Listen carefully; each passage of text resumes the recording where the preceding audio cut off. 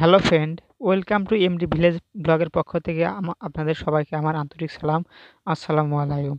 আপনারা যে যেখান থেকে ভিডিওটি দেখছেন, অবশ্যই পুরো ভিডিওটি দেখবেন এবং লাইক কমেন্ট শেয়ার এবং সাবস্ক্রাইব করবেন। এইমাত্র আপনারা দেখতে পাচ্ছেন, আবহাওয়া ওয়েদারটি খুব ভালো মানে খারাপ। সেই কারণে যে ধান কাটাও পড়ে আছে, আর এটা হলো আমাদের ফুবার পেয়ারা গাছ মানে আমাদের আন্টি। আন্টির পেয়ারা গাছ এটা। এটা হলো আমাদের ধান সিদ্ধ করার কড়াই। আর এটা হলো আমাদের পেয়ারা গাছে মানে সর্বি কলা লাগাইছে। আপনারা সবাই দেখতে পারতেছেন। অবশ্যই এমডি ভিলেজ ব্লগ চ্যানেলটি সাবস্ক্রাইব করবেন। এই যে এখানে আমরা নিচে দেখতে পাচ্ছেন, এই যে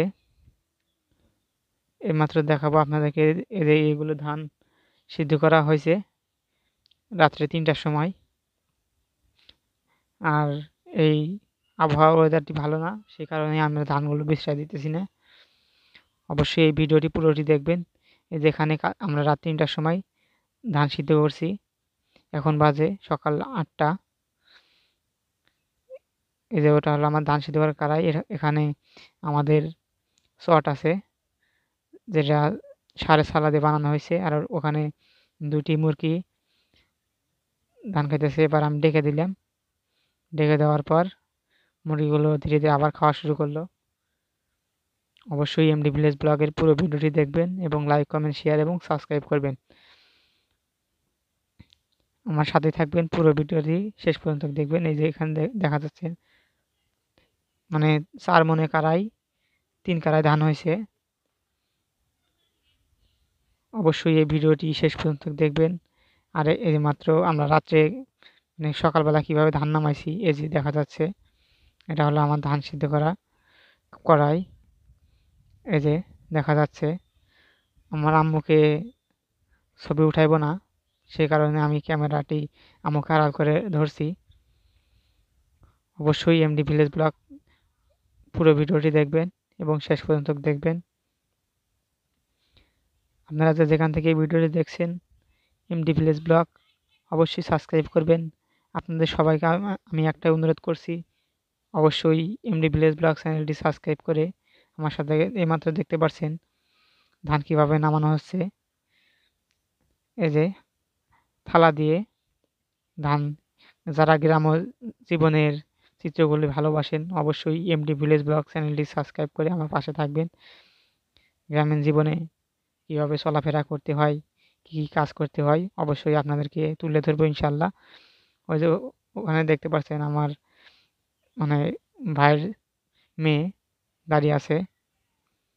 এখানে দেখাবো রাস্তার পাশে সারিবদ্ধভাবে কলা গাছ লাগানো।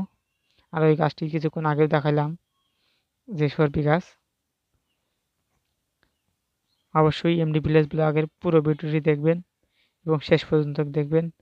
এইমাত্র এইমাত্র আমি একটি সিনেমাটিক শট নেব মোবাইল টিভি মানে এক পাক ঘুরিয়াবো ঘুরাবো যে দেখি কেমন হয়। অবশ্যই এই সিনেমাটির প্রতি ভালো লাগাতে অবশ্যই এমডি ভিলেজ ব্লগ চ্যানেলটি সাবস্ক্রাইব করবেন। এইমাত্র আপনারা দেখতে পাচ্ছেন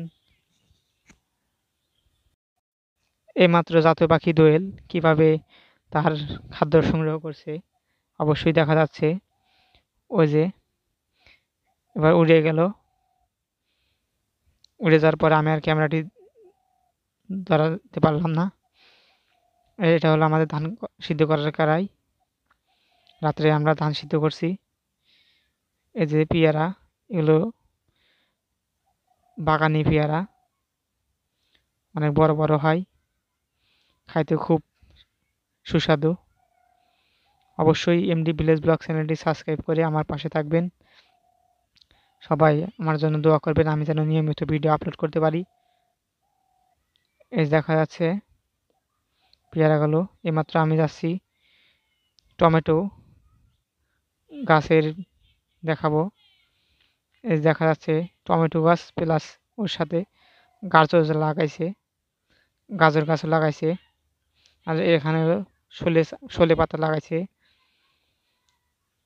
আর এখানে সাইনবোর্ড, সরকারি সাইনবোর্ড। অবশ্যই এমডি ভিলেজ ব্লক এখানে দেখা যাচ্ছে সিম গাছ, অনেকগুলো সিম ধরছে, এবার ফুলও বেড়েছে অনেক। এমডি ভিলেজ ব্লগ অবশ্যই আপনাদের সবাইকে আমি অনুরোধ করছি চ্যানেলটি সাবস্ক্রাইব করবেন। আমি নিয়মিত ভিডিও আপলোড করি এইমাত্র দেখাবো। ওই যে, এটা হলো আমাদের বাদামি জামির গাছ, আর ওটা হলো আমাদের কামরাঙ্গা গাছ, আর এটা হলো আমাদের তো দেখালাম টমেটো গাছ। অবশ্যই এমডি ভিলেজ ব্লগ চ্যানেলটি সাবস্ক্রাইব করবেন। সবাই ভালো থাকবেন, আমার জন্য দোয়া করবেন। আল্লাহ হাফেজ। MD village blog